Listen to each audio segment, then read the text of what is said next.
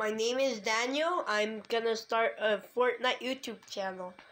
This is the one of the first times that you're gonna see my face. I'm gonna play with my cousin.